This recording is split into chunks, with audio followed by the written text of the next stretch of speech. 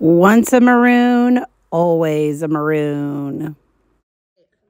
Hi, I'm Deb Zacher, and I graduated in 74. And my greatest accomplishment, I guess, was probably just getting through high school. Okay. Okay. There you go. I'm Mrs. Goldsmith and I graduated in 1974 and I was a pom-pom girl. Ah. I'm Debbie Rhodes and my class was the first class to have girls sports, uh, 1975. Um, my parents met in secret to go to the board and we had homemade uniforms and we got to travel the first time. And they also added softball for girls. Awesome.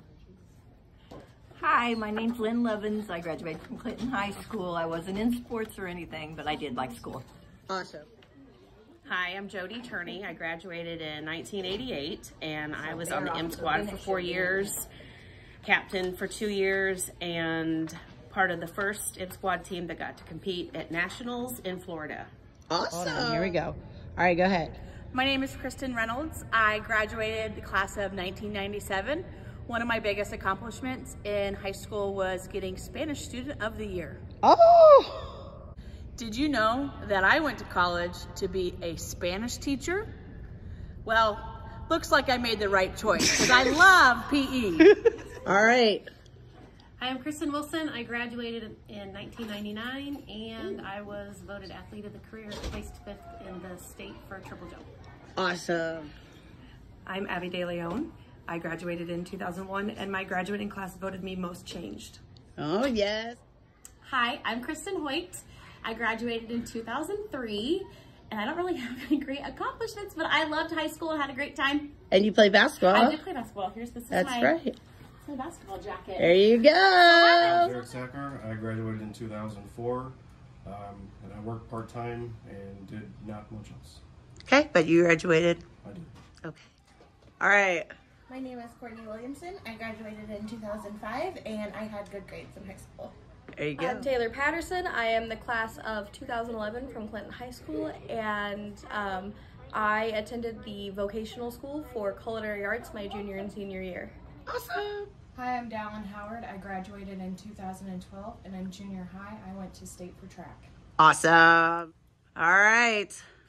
Hi, I am Jessie Scott and I graduated in 2013 and I graduated with a 4.0. Awesome. That's great. One, two, three. Class of 30. Go. Good job. All right, Cheyenne, quick question. So in the future, when you are in high school, who do you think in your whole fifth grade class right now, when they become in high school, who do you think would be voted the class clown? Um, probably Keegan. Keegan? Okay. All right, Keegan. So right now you're in fifth grade, but in the future, when you get to high school, who do you think in this grade is going to be voted as the class clown? Um, the funniest, craziest person as the class clown. Who do you think? In all? Bryson. Bryson. Ash. Okay. Okay, Bryson. In this whole fifth grade, in the future, when you get to high school, who do you think is going to be voted class clown? Silka. Okay.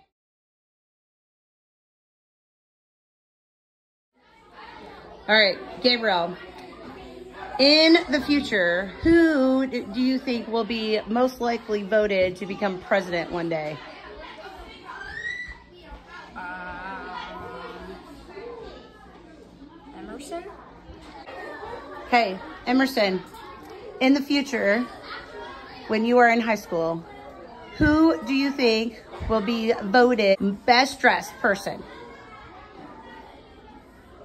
You think of any girl that's like the best dressed in your grade that might be voted best dressed? Sage. Sage Williamson? Okay. All right, Sage. Who in fifth grade right now, when they are in the future in high school, who do you think will be most likely voted the the best to succeed, the most to succeed? That means like best grades. You think could do maybe because become a boss someday. Probably like Carrie or someone. Carrie? Yeah. Okay. Okay, so Miss Carrie, right now you're in fifth grade, but in high school, who do you think will be voted most likely to become a farmer? Braden Miller. All right. All right, Mr. Braden Miller. In the future, in high school, who do you think will be voted best dressed as far as boys go? Um, best hair, best dressed.